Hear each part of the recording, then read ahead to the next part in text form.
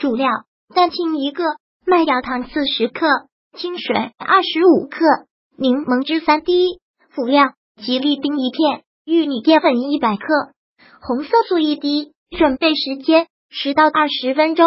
制作时间：三十分钟到一小时。吉利丁片放进碗里，加入清水泡软，此清水不在配方内。玉米淀粉倒入锅里炒熟，摸下面粉热的就行，熄火。两个六连模里倒入适量的熟玉米淀粉，并用鸡蛋印出生凹痕。鸡蛋要用大头的那边，印出来才会圆很多。备用：用新鲜柠檬挤出汁三滴，蛋清加入柠檬汁和白糖五克，打发至出现粗泡，打发至干性发泡。耐锅里倒入白糖二十克，麦芽糖和清水，小火边煮边搅拌，煮到白糖隔解后转中小火加热。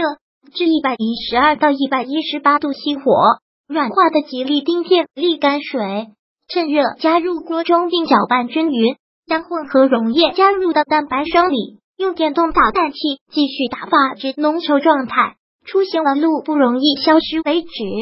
打发好的棉花糊一分为二，一半加入红色素两滴，并搅拌均匀，装入瓦花袋，加一半装直接装入裱花袋。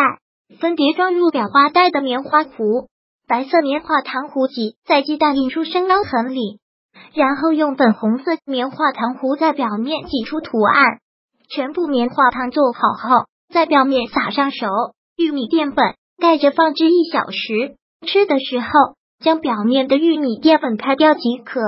烹饪技巧：一组粉要提前倒入模具里，并印出生凹痕，不然棉花糖将很容易降温凝固。二粉红色棉花糊，要是觉得很稠很难画图案时，可以放在温水上泡一下，就会变得流动性。三煮白糖到一百一十度以上是要特别留意，最好用筷子搅拌下。